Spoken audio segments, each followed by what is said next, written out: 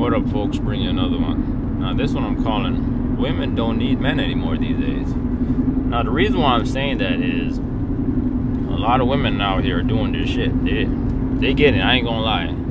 They making ways for themselves, taking care of themselves, raising their kids by themselves, and all that shit.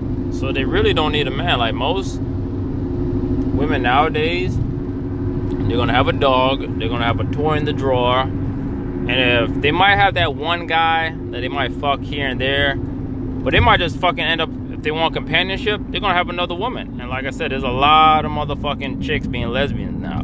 So it's like, why do they need a man now? They got a fucking dildo in the drawer. They got companionship from another woman, and then they got their little dog in the house that they could play around with and maybe lick their pussy here and there. Who knows? But there's no point of them needing a man now. And this shit's crazy. They got their own little social group. They got their own travel group.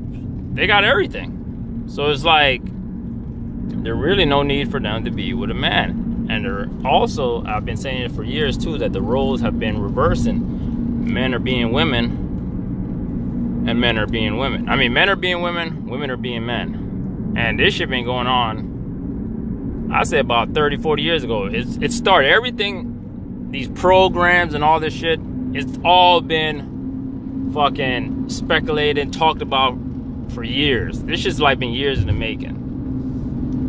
They wanted, they've been dividing and conquer. I can't say they wanted, they've been doing it, divide and conquer. Now it's always men. The battle of the sexes, like I say, men versus women, women versus men. I mean, there's so many fucking complaint groups and these rainbow color shit. MGTOW, incel, purple pill, red pills, black pill, whatever the fuck you want to call it. I don't know that shit. I don't care to learn about it either. But the thing is, men are doing all this extra shit for no reason because, like I said, a lot of women are doing this shit on their own. They don't need men anymore.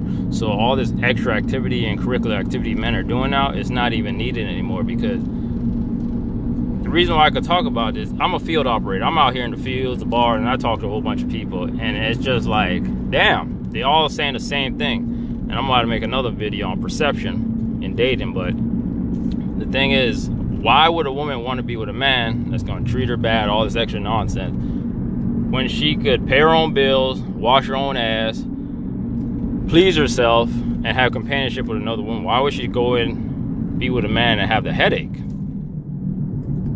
So it's just crazy that there's just a lot more women don't need men no more. There's a lot more single women now so it's like, even if you are on your game, you got your shit together, some of them still will fuck with you, but a lot of them won't because they already have a perception of men. They don't like men for this, that, or whatever. Basically, they see all men the same. So even if you are that motherfucker that's doing this shit that will treat her right, she ain't gonna give you the time of day because she already has a perception of you.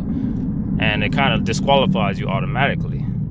So she's just gonna stick in that mindset, like, why the fuck would I go out with this guy that might cheat, lie, some bullshit on me when I'm I'm fine by myself. I can handle everything on my own and boom. So it's like nowadays a dating game is even more complicated because all this extra nonsense going on. But I ain't gonna talk y'all head off. I'ma holler at y'all. Keep pushing through the bullshit. Peace.